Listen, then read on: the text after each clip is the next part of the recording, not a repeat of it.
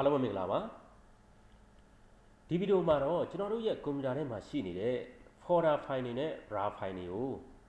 lock ခတ်တဲ့နည်းလမ်းတွေကိုကျွန်တော်မျှဝေချင်ပါတယ်ဒါ folder file တွေကိုဒီအခြားလူတွေဖွင့်ကြည့်လို့မရအောင် lock ခတ်တဲ့နည်းနဲ့ raw file တွေကို password နဲ့ခတ်ထားတဲ့နည်းလမ်းလေးကိုကျွန်တော်မျှဝေချင်ပါတယ်ဒါဒီနည်းလမ်းလေးကတော့သိနေတဲ့မိတ်ဆွေတွေလည်းရှိပါလိမ့်မယ်ဒါမသိသေးတဲ့ကျွန်တော်ရဲ့မိတ်ဆွေတွေအတွက်ကိုမျှဝေခြင်းဖြစ်ပါတယ်ကျွန်တော်တို့ရဲ့ကွန်ပျူတာကိုအခြားလူတစ်ယောက်က ကန်ခဲ့သေးရှိတော့ folder file တွေကိုဝင်ကြည့်လို့မရအောင် lock ခတ်ထားတဲ့နည်းနဲ့ raw file တွေကိုလည်းဖွင့်လို့မရအောင်ကျွန်တော်တို့ password နဲ့ခတ်တဲ့နည်းလမ်းလေးကိုမျှဝေခြင်းပါတယ်အဲ့တော့ပထမဆုံးကျွန်တော်ကဒီမှာ folder file ကိုကျွန်တော် lock ခတ်ပါမယ် folder file ကိုကျွန်တော် lock ခတ်မယ်ဆိုရင်သူ့ပေါ်မှာကို right click နှိပ်လိုက်ပါညာ click လိုက်ပါဒီညာ click ပြီးသွားပြီဆိုရင်ကျွန်တော်ဒီအောက်မှာရှိနေတဲ့ဒီအောက်ဆုံးမှာရှိနေတဲ့ property ကိုကျွန်တော်ဝင်လိုက်ပါ okay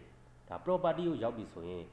ဒီအပေါ်မှာရှိနေတဲ့ security ဆိုတဲ့ထဲကိုဝင်လိုက်ပါနော် okay security ဆိုတဲ့ထဲကိုဝင်ပြီးသွားပြီဆိုရင်ဒီအောက်မှာရှိနေတဲ့ဒီအောက်ဆုံးမှာရှိနေတဲ့ administrator ဆိုတဲ့အကောင်လေးတွေကိုဝင်လိုက်ပါ okay ဒီကောင်လေးကိုကျွန်တော်တို့က select ပေးပြီဆိုရင်ဒီအောက်မှာရှိနေတဲ့ edit ဆိုတဲ့ကောင်ကိုနှိပ်လိုက်ပါဒီမှာ तू က change permission clip edit ပေါ့နော်ဒါကျွန်တော်တို့က permission ပေးမှဖြစ်တဲ့အတွက်ကြောင့်မလို့ edit ကိုနှိပ်လိုက်ပါ okay အဲဒီနေရာရောက်ပြီဆိုရင်ဒီအောက်မှာရှိနေတဲ့ administrator ဆိုတဲ့ကောင်လေးကိုလည်းတစ်ချက်ပြန်ပြီးတော့ select ပေးလိုက်ပါပေးပြီးပြီဆိုတာ ਨੇ ကျွန်တော်ဒီအောက်မှာရှိနေတဲ့ Danny ဆိုတဲ့ဒီအောက်မှာရှိနေတဲ့အကွက်လေးတွေကိုအားလုံးကျွန်တော်တို့ကအမှန်ချစ်ပေးလိုက်ပါ okay ဒီလိုအမှန်ချစ်ပေးပြီးသွားပြီဆိုရင်တော့ apply နဲ့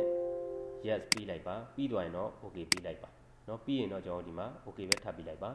ဒါဆိုရင်ကျွန်တော်တို့ရဲ့ဒီ folder file ကိုကျွန်တော်တို့ကဖွင့်လို့မရတော့ဘူးเนาะဒါကျွန်တော်တို့က permission ပေးလိုက်တာဖြစ်ပါတယ်သူကျွန်တော်ဖွင့်ကြည့်မယ်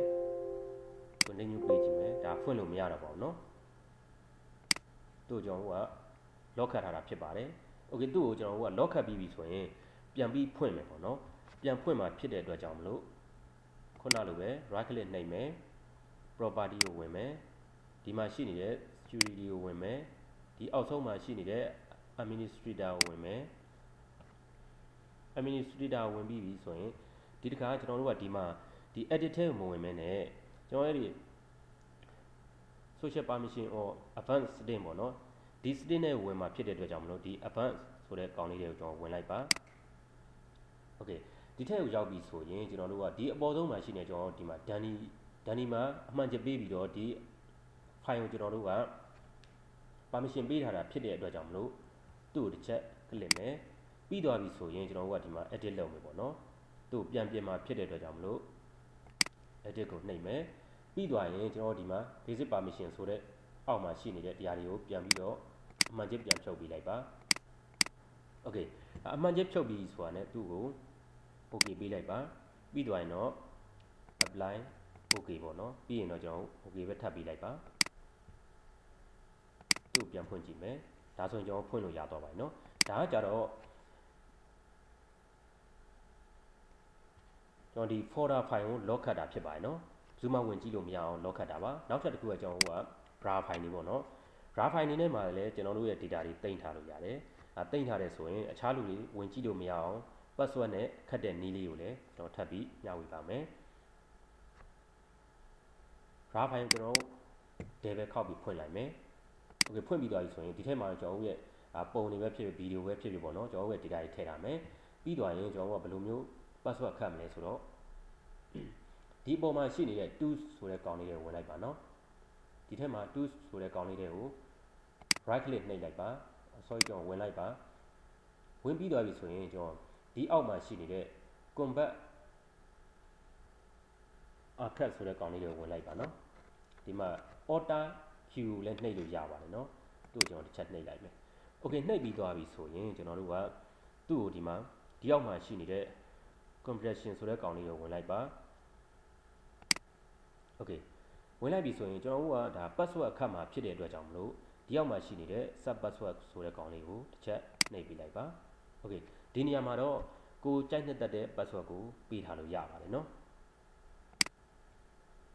မသူ့ကို password ကျွန်တော်ပေးလိုက်မယ်ကျွန်တော်တော့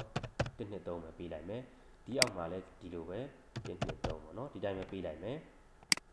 123ပေါ့နော် okay အဲဒီလိုရပြီဆိုရင်ကျွန်တော်တို့ကဒီမှာရှိနေတဲ့ okay ဆိုတဲ့ကောင်လေးတစ်ချက်ပေးလိုက်ပါ okay ပေးပြီးတော့ဆိုရင်ကျွန်တော်ဒီမှာသူ့ကိုလည်းထပ်ပြီး okay ပေးလိုက်ပါသူ့ကို yes ပေးလိုက်ပါ